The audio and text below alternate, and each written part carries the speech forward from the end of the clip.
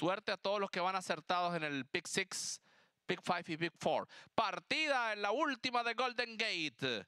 Viene por la parte eh, central de la pista Broncino a buscar la punta, ataca por dentro River House y estos dos van a disputar la punta, desplaza Broncino, ahora ataca por fuera It's the Ice. It's the Eye descuella por la parte externa. En el segundo quedó Broncino cuando van a girar la primera curva. Desplazó It's the Ice y despega con tres cuerpos de ventaja agresiva la conducción de Frank Alvarado sobre este It's the Ice. Broncino en el segundo, en el tercero River House. En el cuarto quedó Looks Good in a Tux.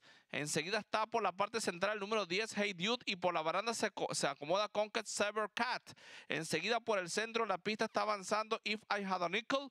Más atrás quedó el 1, Aztec Warrior. Eh, luego está más atrás el caballo Call Me Soul junto al número 7, Raid for Me. Y se quedó en el último lugar el caballo Lil Awesome.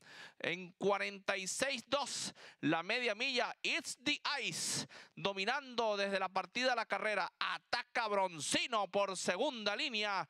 Broncino corre mucho contra el caballo Is the Ice. En el tercero River House. Desde el fondo trata de descontar ventaja pegado a la baranda interior. Conquer Cat cuando van a girar la última curva.